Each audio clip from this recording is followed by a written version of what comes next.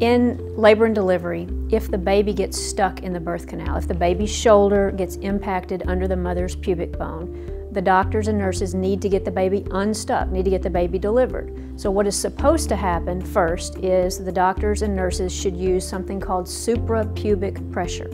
It's called that because the, the shoulder is stuck under the mother's pubic bone.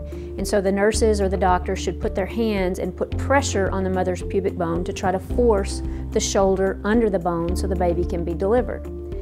The nurses should never use something called fundal pressure. Fundal pressure used to be used, but now we know that it's dangerous and should not be used.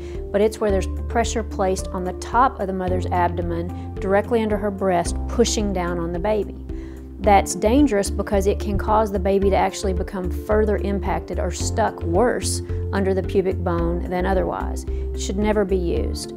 There should be hospital policies, there should be training that nurses are trained never to use this type of fundal pressure.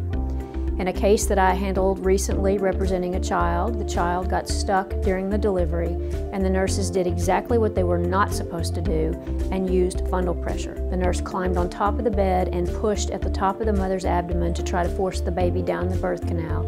And as a result, the baby was stuck for seven minutes without any oxygen and suffered a severe and permanent brain injury. If you have a child that suffered a severe injury and something like this happened, you observed pressure on your abdomen and you're not sure what happened and if it was the right thing or the wrong thing, then call our law firm, talk to me, we will get your records and review the records to see if we can determine exactly what happened and if this injury was preventable.